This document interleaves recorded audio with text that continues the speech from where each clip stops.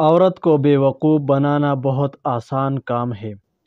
शादीशुदा ख़वातीन और ख़ास कर जिनके शोहर किसी दूसरे ममालिक में काम करते हैं, उनसे गप शप लगाने का बुनियादी मकसद उनकी हमदर्दी हासिल करना और गुनाह की काम की तरफ़ ले जाना है।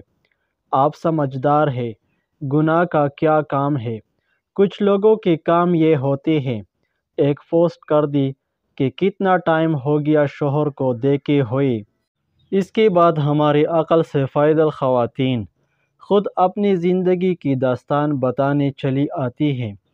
आजकल उमूमन घर के कामों से फारिग होकर औरत के पास सिर्फ़ दो काम होते हैं।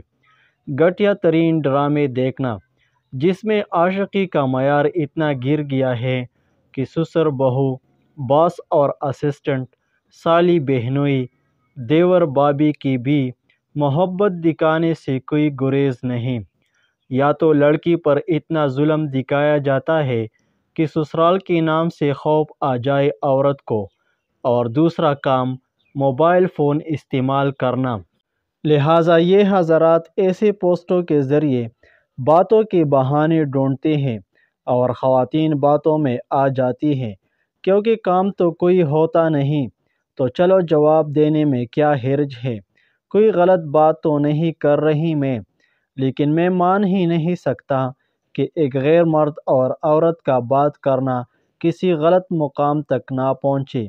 ये किसी सूरत मुमकिन हो ही नहीं सकती।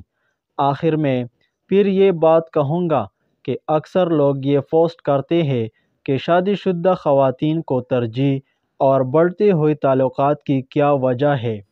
तो इसका आसान जवाब ये है, बात थोड़ी तलख है, लेकिन हकीकत यह है कि शादीशुदा से ताल्लुक़ बनाने के बाद कोई हद मुकर नहीं होती।